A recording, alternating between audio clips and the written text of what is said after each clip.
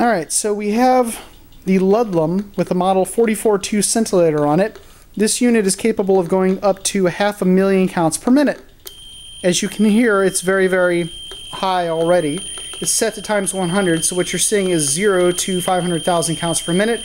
As we approach the person with the Technetium 99, it goes immediately hard over. We move back, there's the person's legs right there. As we move back, it goes down. As we move forward, it goes back up again. So the Ludlum is actually unusable for any analysis because it goes hard over before it can get to the person. However, by taking measurements at two distances and then calculating the difference between the two and using um, uh, e raised to a particular value, we can actually determine what the reading would be if we were able to actually detect it, which we cannot. Let's see if the Geiger counter is a little more useful. We're already at 470, 450 counts per minute. Let's cut on the backlight that's in this Inspector USB model and see. Now there's the body of the person right there whose face I will not show for uh, secretive purposes. At 800 counts per minute we barely moved. 900, that's just because I'm facing them. And the 140 keV photons are somewhat blocked by the uh, detector housing. As I approach, the sound will go up. Actually, let's cut the sound on. You'll see that we're at 1500. I think I need to reset that. 2100. 6000. This is what we call distance inverse square. The number goes up sort of faster than you might suspect. but as you can see, Technetium 99 treatment is very radioactive. Two or three inches more and we're at 17,000 counts per minute. Let me cut the light on. And in fact, let me go so far as to open the back of the unit up, showing the actual detector itself. As we approach their body, and hopefully they don't mind me putting the detector right on them as they deal with me, um, we hit 89,000 counts per minute. 94,000 counts per minute. Wow. At this point, we're in fast response mode with the detector because it is detected that we're in a high radiation environment. Switching over to milliroentgens, which are not accurate, of course, because of the energy, but we say that we're around 27 milliroentgens. It's actually a lower value than that. This is set for 662 keV photons. He is emitting 140 keV photons. There's a difference. Regardless, for anybody who thinks that nuclear samples are unsafe to have in your house, I like to think about how much radiation one gets off one of these tests. Last but not least, we will attempt to see what the detector here, let me cut the volume up, what the CDV 700 does. The CDV 700 is in times 1 mode and it goes immediately hard over.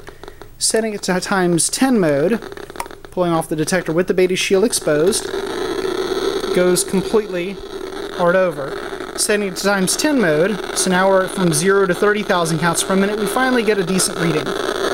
We adjust the detector to be pointed right at the dead center of his body, and let's see where we get. 1960s technology at its best. 20,000 20,000 counts per minute. The CDV 700 is insensitive enough to detect correctly. So the last thing we should probably do at this point is perform a gamma spectroscopic analysis using this Gamma Spectacular GS uh, 1100A and a 44-2 Ludlum detector here. This is a uh, 1 inch sodium iodide thallium dope detector, which is currently calibrating against some cesium 137 samples. This is the voltage driver right here, set to 700 volts. And we are currently building a spectrum right here of cesium, which we will soon use to find out what's inside of him. Okay, we've been running the analysis for a short time. Uh, to give you an idea with the light on here, uh, right over here by the computer, I'm at 300, maybe 400 counts per minute. Here's the person. And over by the detector itself, this is the detector, I'm getting 500. Well, we'll give the detector a little bit of time to build up to whatever final number it gets to. As you can see from the actual screen here, um, if we take the um, mouse and put it right on down here, see this is a, Gauss, a Gaussian correlation, and this Gaussian correlation shows that the um, the centroid is probably right here, even though it doesn't appear to be by our eyeballs. The computer's a little bit smarter than we are at figuring out where the actual centroid is. And as you can see, the centroid is at 131 keV, which is only 9 keV off of the actual centroid, which we just happen to know is, should be 140 keV, which is just a difference um, slightly in the um, interpolation of the um, uh, uh, what is it the calibration.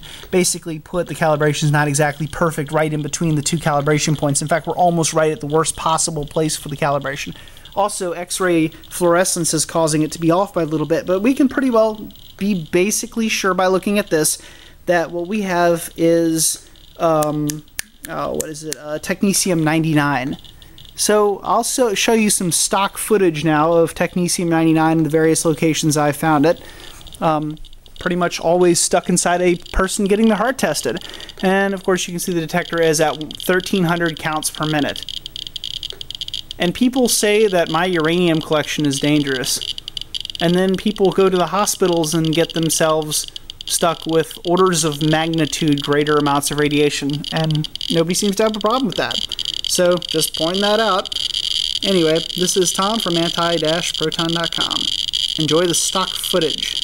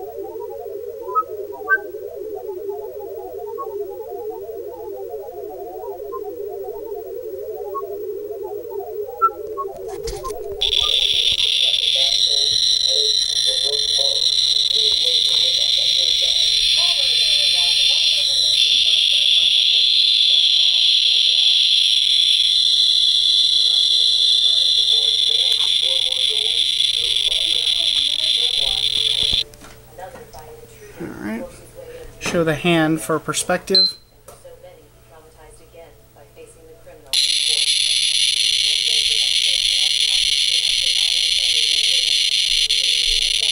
Ridiculous.